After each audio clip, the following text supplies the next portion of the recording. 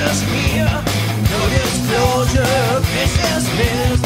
Confiscated evidence, no smoking gun. Public has a right to know. From KSL.com. You want me to tell you something that's going to turn your brain instantly into a steaming pile of shit? Okay, listen. Man used machete on a skateboarder he thought was a fish. Yeah.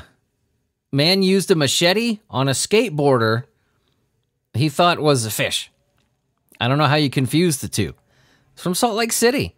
A man accused of attacking a skateboarder with a machete because he allegedly thought the skateboarder was a fish has been arrested. Well, Ryan Neville Davis, 23, was booked into the Salt Lake County Jail early Wednesday for investigation of aggravated assault. According to a police booking affidavit, the man had been skateboarding on a sidewalk near 300 South Main Street just before 1 a.m. Wednesday. Okay, so what's going on? he produced a large machete and swung it at the victim, striking him on the left forearm. Ooh, wow. Big ass laceration, stitches, the whole shaboodle. So this happened. what is this? He thought he was a fish. I, I, I don't understand. You could be huffing fucking paint thinner, and you can't mistake a human being for a fish. I mean, what do you, what do you want? And if you're clean and sober, did you think this? I don't even know how you thought of this. You know, this comes after less than two months after Davis was convicted of three counts of attempted aggravated assault. Third district court. What do you think the guy was a fucking manatee? In the case, he at least you know, I don't, I don't get it. He approached three fast food employees and threatened them with a knife while demanding food. He was given credit for 42 days he'd already served. You're gonna, you should probably just keep him in there. I don't think he uh, plays well with others. Let him out into society. Yeah, uh, that's probably not a good idea. Probably not good. Welcome to No Disclosure. This podcast is brought to you by Asylum 817 Productions, Spotify, and DistroKid. This podcast where we go on the news, see what's happening in the world, and based like fine, expensive turkeys and the sheer audacity and craziness that is our news media. Yeah. So what's going on? Yahoo News. Well, a man drops his shorts and everything else during his arrest. What? Okay. Let's let's have a bet here. Okay, I'm I'm not going to look at the article. I haven't bookmarked it. I mean, this is like pulling stuff up live here. So I'm going to make a I'll, I'll make a deal with you. All right.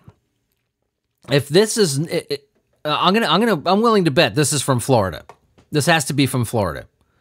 So if I'm right, then I get bragging rights. That's all I want. Just bragging rights. Just the ability to be a douche and say I was right every once in a while. If you win, then I will. Let's say I'll uh, pick one of you at random and send you one of my most expensive paintings. How's that? Okay? All right. A man drops his shorts bearing all in the middle of a neighborhood during his arrest. Deputies in Flagler County, Florida. yeah! they were called to the area after a report of someone acting belligerent and arguing with a woman in the street. Body camera shows Sean Madden yelling at the officers who responded to the scene. And yeah, he just for no reason took all of his clothes off. Mm, I fucking told you it was Florida. I knew it. you guys are probably never gonna believe me though. I mean, this was one of the ones that I just pulled up. That's why all I wanted was bragging rights. Oh boy, I'm really glad that I didn't lose that bet because shipping the big paintings sucks. it's Florida, see? Oh, I gotta see this video. Yeah, yeah, oh boy, holy cow, is he naked? He had his shorts on and then he pulls the shorts down. Now he's dancing. What the fuck is going on in Florida? I mean, don't these people want to avoid, you know, uh, various news outlets, websites, and all? Don't these people want to avoid being Florida, man? I would. But is that at the point where all these criminals is like kind of bragging rights now? Like, I'm Florida man.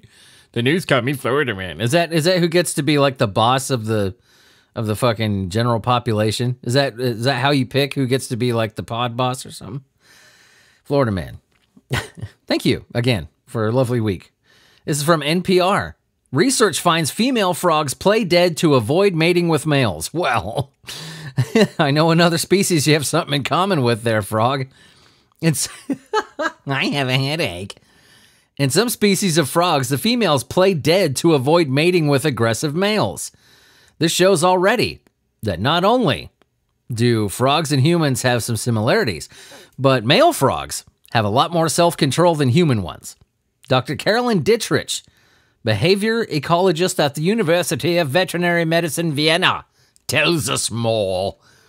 I mean, you ever felt the impulse to ghost a person? Yeah, completely ghost him who keeps hitting on you and just can't take a hint. You know, don't ever talk to them again, just disappear. Frogs have taken that strategy to a new level, goddammit. A new study shows that some female frogs, frogs straight up fucking play dead. That's awesome. uh, that's cool. See, we have more in common than you than you than you thought, Mrs. Froggy. I know some humans that do that as well. I've known some in, in the past before not naming names. Susan. Let's carry on. Is from patch.com. New Jersey custodian performed. is it just me? Or is. I, I mean, where? How many episodes in? Almost 200? I need to look at this. I want to know for sure. Okay. Six seasons in. Yeah, this is episode 199. And have you noticed that things are just getting weirder? You know, in the news, like even for no disclosure, things are getting weird. Mankind is starting to fucking lose its marbles, man. It's crazy. Case in point, it's from patch.com. patch. Why would you name a news? Okay, anyway, there's probably a story behind that. I don't want to know. New Jersey custodian performed sex acts with the school cafeteria objects. Oh boy. I can't wait to find out what that is.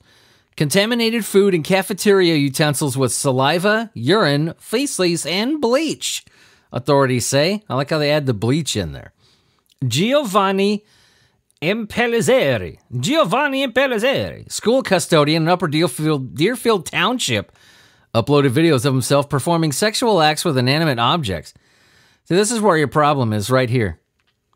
He's losing his hair. He's got the, you know, starting to get the crown on the head, losing the hair, you know. He obviously, he looks over 40, but he's wearing eyeliner and it's obvious that he dyes his beard. You don't want this cat working out of school. Please don't tell me this is an elementary school. Please. Custodial work can be dirty, you know that. But one South Jersey school employee performed a series of lewd and harmful acts that were not a part of the job description, at least as far as I know. Giovanni Imperizelli School custodian in Upper Deerfield Township shared videos of himself. Why? Why would you share videos of yourself doing that? Are, are you fucking stupid? I mean, that's just guaranteed you're going to get caught. Elizabeth Moore School. It doesn't say what kind of school this is. Let's look it up, shall we? Elizabeth Moore School. What kind of school is this? This is. Upper Deerfield. Why can't I say that? Deerfield. Fucking stupid today. Um, what kind of school is it's? Oh, it's an elementary school. You fucking piece of shit. I, I somehow I just knew it. Contaminated food and cafeteria utensils with saliva, urine, feces, bleach. Several charges, including second degree official misconduct. Why second degree? Like, wh- what constitutes the second degree? You know, there's videos of him putting things in his butt, and you say second degree? I don't understand that at all. Investigation began after the school received multiple anonymous tips about disturbing videos in a group chat on Telegram. Officials say Imperizelli filmed the videos at work, shared his profession, and various posts. This guy's a fucking idiot. You're just begging to get caught. Wow. Well, I mean, you're an over 50 year old guy who's not a rock star that wears fucking eyeliner. I mean, the school didn't realize that this guy was a problem. And you know what? This isn't a mugshot either. I bet this was the photo taken right from his like fucking work shit. You know what I mean? I hate to be judgmental, but you got an elementary school? Don't hire a guy who fucking looks like that. It's bizarre. Freaking weird. This guy looks terrified. He does. It looks like Nikki Sixx if he shaved himself bald and we started to see the the recession of the hairline. You know what I mean? The creepy looking dude. Again, not being judgmental, but when you do shit like this, you're fair game, bitch. Yeah, like one of the many phone calls I get. If you don't like it when Billy makes fun of somebody, well, don't do stupid shit like this, and I won't consider your sorry ass fair game. How's that? Compromise. This is from Sky News. Somerset Gimp. What? Banned from wearing a gimp suit, I thought so, in public and crawling, wriggling, or writhing on the ground for five years. Okay, wait a minute. Let's soak this in. Somerset Gimp banned from wearing a gimp suit in public and crawling, wriggling, or writhing on the ground for five years. We had something similar like this happen recently, remember? About 20, 30 episodes ago? Ah. Joshua Hunt, another one. Self employed gardener from Claverham, North Somerset, has been linked by police 25 incidents across the county over the past five years. A man known as the Somerset Gimp has been banned from dressing an all black gimp suit in public at night, crawling, wriggling, writhing on the ground. Joshua Hunt, 32, was issued with a sexual risk order after police linked him to 25 incidents across the county. Not allowed to do that anymore. No gimp in public. Fucking, what possesses somebody to wear a gimp suit in public? That's beautiful. The order also prevents the self self-employed gardener from wearing any type of mask or face covering in public unless for medical reasons. You fucking hear that? This guy is such an animal. This guy is such a piece of shit. He can't wear any kind of mask unless it's cleared medically. That's fucked up. A district judge imposed these restrictions following a hearing at Bristol Magistrates Court just a week after Hunt was convicted of two offenses under the Public Order Act. Wow, this guy's a fucking winner. Last week's hearing heard how a man in an all black gimp suit had terrified two female motorists. Well, yeah. Latest in the series of incidents where a man in skin tight dark clothing was seen writhing on the ground stepping out in front of cars, remote locations across Somerset. He's been doing this shit since 2018. Oh my god. Guy in a grip suit. Oh, gimp suit. Grabbed his penis over the top of his clothing and also gyrated against the floor. See, I'm glad I read this article. I'm glad. Because when I see headlines, if I, I got a, you know, we got a rule here. Whenever I see the word penis, I will read it. I don't care what the article's about. I don't care if it plays it straight. I don't care if it's funny at all. If it has the word penis in it, we're reading it. And look at that. We got a free penis today. That sounds really bad. Carrying on. Lawrence Wilcox. I still ended up saying a penis derivation. Representing Avon and Somerset police told the hearing that Hunt had been linked to 25 incidents in total. 25. What do we say? The court is satisfied with the intelligence of the earlier incidents were of a sexual nature and committed by the defendant. There is material within that bundle that relates to that of a sexual nature and the acceptance of necessity. Yeah, when they started digging through his shit. Mm-hmm. God. And what's funny is, like, this is exactly the opposite. I was wanting this, this guy to look like, you know, a fucking weirdo. That's a normal looking dude. Completely normal looking guy. Doesn't wear fucking eyeliner. He's not dyeing his beard, which is creepy. Guys, don't don't fucking do that. It looks stupid, and everybody can tell. This is a normal guy that you'd meet like in line at the grocery store or the library. Little did ye know that this guy is uh, living out his pulp fiction fantasies every day in public. This is from the Smithsonian. Oh, really? Smithsonian, what's up? You guys got something weird? No way. Cats make nearly 300 different facial expressions. What? Really? From ear position to pupil size. Oh, they count that too, yeah. A new study examines how felines express themselves while interacting with one another. So, due to a study, they've proven that cats make nearly 300 different facial expressions. Well, I'm glad they didn't study my fucking cat. Wasabi the cat, my cat, only makes one facial expression judgment. Cats can sometimes get a bad rap for being aloof or not emotive. Compared to dogs, felines tend to be more subtle with how they express themselves mere flick of an ear, curl of the whiskers. Only sparse studies have tried to decode the mysterious emotional lives of these creatures, but guess fucking what? Somebody did. 300, over 300 facial expressions. Wow. That's amazing.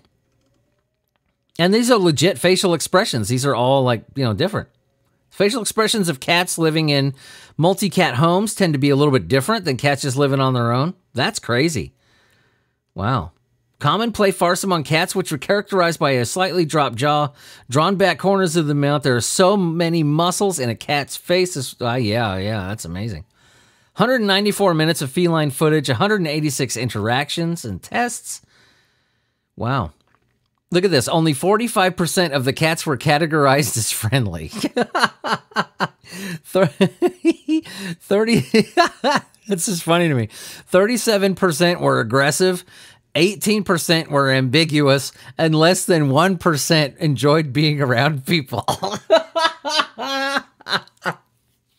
That's awesome. So like the smallest part of the control group. That's that's funny. Findings show it's good to look at a cat's ears, eyes, and whiskers to understand if they're feeling friendly. Their mouth provides a lot of information about whether a cat fight is likely. Well, based on these results, then uh, you just need to assume that the cat is not friendly. Because at, at best, it's not going to pay your existence any mind whatsoever. It will not give a shit. That's cool. Again, I'm really glad they didn't study my cat. He only has one expression, and that is contempt for you. This is NPR.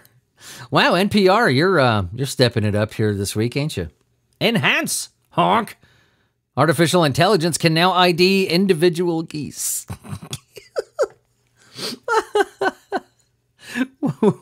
Why?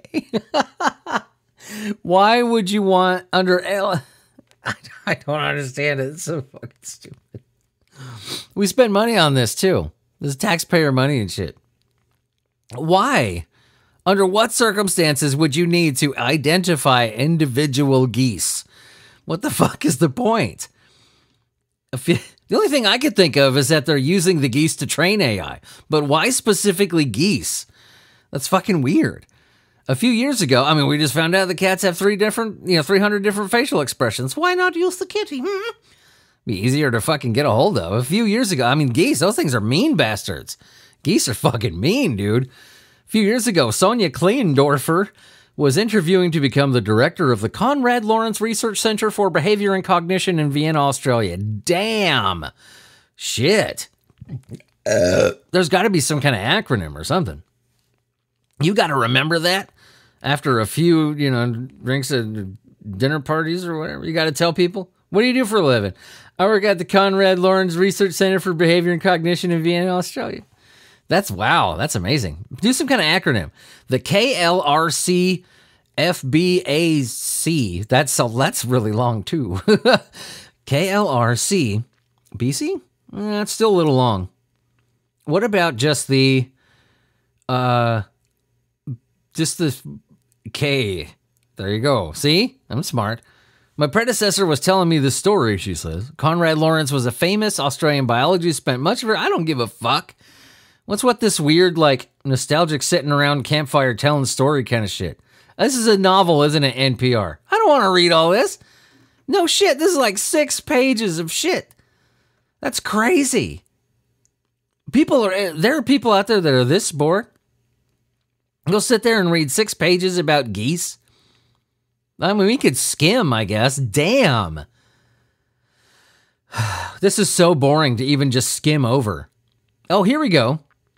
Okay. Oh, I didn't know that. Geese can remember individual faces of everybody that they see. Yeah. It's amazing that they could do that because usually all they see is the Becky as you're running for your fucking life. The geese are mean sons of bitches. Oh, okay. So yeah, they're actually using it to train AI, but it doesn't under it doesn't explain why geese. And that's cool that uh, I mean, do they have more facial variation than humans? Is it difficult to identify a goose? Because it'd be difficult to identify any kind of fucking animal, really. I mean, why don't you try fucking trash pandas or blind cave salamanders, sand bubbler crabs? I can think of things that are more difficult already. Why geese? And on top of that, you get something that fucking aggressive? I don't get it. But hey, that's cool. An AI has been trained to recognize individual faces and can be applied to humans, as if AI isn't already fucking terrifying. This is from 12news.com. Mesa High School teacher on administrative leave. What you do? Fucking kill somebody? I know, I go that extreme because that's all that happens to teachers these days administrative leave. After students say he dressed up as the devil and said, Hail Satan to students. Okay. Shut up, ad. I want to see the video of this. You piece of shit. Oh, there it goes. Okay. Ah, fuck you. I want to leave it muted. Uh, wow. Yeah, yeah, yeah. He's got a pitchfork and the horns on, but he's just wearing a red shirt. I mean, he ain't dressed up as Satan. Yeah, he's got the horns and the the the, the trident thing. You know. All right, I'll give it to you. Mesa High School, Mesa, Arizona, being investigated after reportedly dressing up as a devil and saying "Hail Satan" to students. Jesus Christ, the fuck is wrong with you? The fuck is wrong with you? We live in a society that it's okay as long as you have a see through piece of cloth, doesn't matter how see through it is. It's okay to show off your fucking labia on TikTok. It's okay to identify as 1,300 things that you're not even close to biologically and never will be. It's okay to say that someone is a hater for speaking their opinion. That's okay. But dressing up as Satan is bad? Okay. we got Dr. Phil interviewing fucking cult leaders this week, and then what a teacher dresses up as the devil and gets shit for it. We I, I I agree with you. I mean, I think dressing up as Satan is fucking horrible. Teachers should be fired. Matter of fact, he should be taken out back someone beat the fucking shit out of him. Honestly. But I'm just talking about standards here. There's a lot of double of them. Why did he do this? It's so fucking stupid. Wave the pitchforks over students' head as they entered and said, Hail Satan. I could I don't even see how that's a joke. I mean, your sense of humor is fucking I, I don't I don't understand it. Some people thought it was funny. Some people didn't like it. Some people were like, whatever, just blew it off. I don't see how that's fucking funny though. I mean, you know what I mean? Why doesn't the teacher dress up as Mr. Bean and fall over something? Right? Why doesn't the teacher dress up as, you know, Van Gogh and then hand people fake plastic ears? That would be funny. Teacher involved in the situation told 12 News the reason why they were dressed up was that way for Halloween Spirit Week. And you work in a public school and you choose Satan. That's awesome. Do you not realize what fucking era you're in? In the 80s, maybe even 90s, you probably could have got away with that. But look at today. Uh, you you choose that shit. You, you, you choose to do that now. I can't imagine how hard it is for teachers. They make close to nothing now. They have to remember 1,300 fucking pronouns, and everybody is so glued to their phones. You take it away from a student, they'll probably fucking kill your ass in half the school. Why did you dress up as Satan? You could have done something. I could think of a million times funnier than that. My God. Dress up as Chuck Norris or some shit. There's a million things you could do dressed up as Chuck Norris. it's from Law and Crime. Oh, I can't ready. Can't, can't. we see an article from Law and Crime. This one I suspect may be a doozy. I planned it all. Unbelievably damning texts expose order of toxic plant off Etsy, plot to poison a man's root beer float with antifreeze compound to get all of his hidden savings. Damn, law and crime. That's a hell of a fucking article heading. You know you don't have to make them that long, right? Shit. I've seen articles that fucking long. I planned it all. Unbelievably damning text expose order of toxic plant off of Etsy. Plot to poison a man's root beer float with antifreeze compound to get rid of all his hidden savings. you guys, wow. How long has this website been around? you guys really need to step it up a notch. Pictures all grainy and weird. Okay, I mean, I, I get it. Someone tried to get poison, poison root beer float, antifreeze compound to get at his savings. Is that necessarily no disclosure weird? No. I just thought it was funny that this was from, well, what is it? Law and Crime. And then I find out that they don't know how news headings work. Cool. That's great. Ladies and gentlemen, I want you to give that law website a hand. Seriously. Seriously. Give them a hand. I'll do it with you. Thank you for wasting five minutes of my fucking time and my listeners. I appreciate it. This, this is from, I could just cut though, right? But we don't do that here. Norwalk. Daily Voice, okay? CT Man, I assume is Connecticut, accused of using police lights so he could get to work faster. That's a you're going to be in deep shit, buddy. You don't do that. Oh, that's that's a big ticket right there. Connecticut man is charged with allegedly impersonating a police officer after he was found to have some police lights inside his Dodge Challenger so he can get to work faster. What a dick. County New London County resident Michael Marshall, 43 of Groton, Groton, Groton, was charged on Wednesday, Wednesday, October 25th. Boy, my have you been listening to this? Have you been listening to the show so far, like the whole thing? My brain is just not fucking braining today. I'm tripping over my words. I can't pronounce shit. I haven't been getting a lot of sleep lately. I mean, I'll admit that. You guys know, a lot of you do, that I had a really bad stutter when I was a kid. Man, sometimes it comes out, but that's only when I'm like nervous and shit. Tripping all over my words. God, I should run for president. I'm just going to leave that there. Maybe I shouldn't. Uh, because I know how to exit a fucking stage. According to Connecticut State Police, an on duty trooper out of Bridgeport, after observing the Challenger display several steady red and blue illuminated lights. You're in fucking trouble. How much of an asshole you gotta be? I'm late for work, so I'm gonna just pose as a law enforcement officer. God, where'd you even get those lights anyway? You wanna know how much that is, huh? In Connecticut anyway? $5,000 surety bond. That's not counting court costs. That's not counting when you get fucking sentenced. It's $5,000 just for doing it. Can we do, don't do it. That's crazy. Imperson I mean god, impersonating a fucking dick. Impersonating a police officer just cuz you're late for work. And you give that that the, the most disturbing thing to me isn't impersonating an officer. Is that you give that much of a shit about fucking work. this is from Fox KTVU. Bay Area Ritz Carlton sued after woman was allegedly served semen contaminated water. Yum yum. Ritz Carlton, really? This is one of the nicest hotel chains in the fucking world. We're talking Half Moon Bay, California, boy. Ritz Carlton. Yeah, it's as fancy as the name. I got kicked out of a Ritz Carlton one time. Never stayed at one, but I got thrown the fuck out of one. And let me tell you, that five or so minutes I was in there, it was pretty nice. Jane and Doe, okay? They don't know their names? Jane John Doe, okay? Arrived at Washington State. Oceanfront Luxury Half Moon Bay Resort for the weekend of November 18th, 2022, to visit the daughter attending a nearby university for the Thanksgiving holiday and to celebrate Jane's birthday. I don't give a shit. Plans were what is this? Significantly derailed after Jane had a sip of a Ritz Carlton branded water bottle that contaminated with semen. Yeah. How did you know? You didn't have it tested right then and there, did you? Did you? You're like, hmm, man, something tastes familiar. you had to. You had to. How in any other way are you going to know for sure that that's semen? What school did you go to?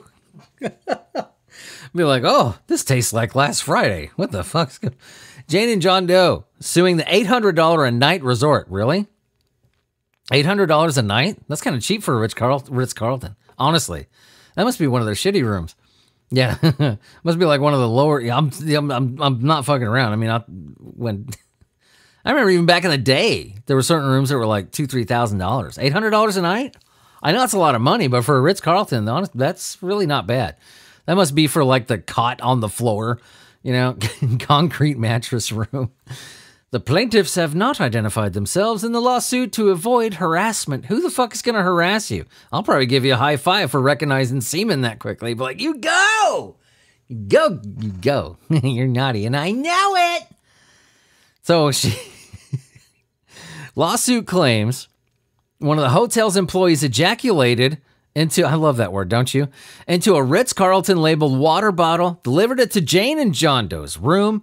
Jane drank the semen contaminated water before she realized it had been defiled by a criminal deviant and she had been sexually assaulted. Yes, I make jokes and all that, but it is sexual assault and it's a very fucking horrific form of sexual assault. It's, it, you know, you get a sexually transmitted diseases just for drinking a fucking water bottle. And everybody's going to think that, you know, that's that's that's fucked up. Yeah, like God knows, God knows where that per- where that fucking dude has been. They want law enforcement to do their own analysis, DNA samples from the semen, cross referenced against sex offender registries to identify the suspects. Okay, that makes sense. Yeah. I would start with the hotel's employees. Don't you think that might be a smart way to go? But you know what? I'm going to give you brownie points for saying check the sex offender registry. Because if someone's done this before, they've probably done it before that too. but you know, maybe start with the uh, you know employees of the hotel because somebody brought you one. That might be a good start. You won't have to utilize precious resources. I'm just uh, you know, I'm just impressed and honestly a little bit turned on that you were able to identify the semen as soon as you took a sip. That's that's just I fucking love this show. I'll catch you guys later. That's all we got. oh man, I really hope Cassie doesn't listen. She doesn't listen to No Disclosure podcast anymore, but occasionally, you know, she'll like skim over one if she likes the title or whatever. Cassie, just disregard everything I just said. No, she, I really hope she doesn't listen to this one. I, I might get into a little bit of trouble. So this is where where the hell where's my outro? Where's my outro? Okay, there it is. Thank you. Gee whiz. That's all, friends. Special thanks to this week's sponsors who make this show possible. Make sure to check out the link to our Patreon page in this episode's description, where as little as a dollar a month, you can get everything from bonus episodes, ad free episodes, giveaways of certain tiers, outtakes, bloopers, a podcast just for the patrons. Who does that? This guy. Special thanks to the patrons, by the way, the Kunkel Homestead YouTube channel, Donald Haynes, Dillagaff, Kristen Belt. I appreciate all of you. And yeah, that is uh, that there she blows. That's everything. We'll see you next week, okay? Bye bye, my babies. I love you all. And be fancy. Oh. Maybe it, maybe maybe it was just too quick for my brain this morning. Like, you know, I, I had a bit of a queue. Like, I wanted to get as many articles out as I could. We got what? One, two, three, four, five, six, seven, eight, nine, ten. I'd shoot for 10, always. And here we go, 11. Did I just go too fast for my own mouth parts? Or should I really run for president? I'd be the best fucking president ever.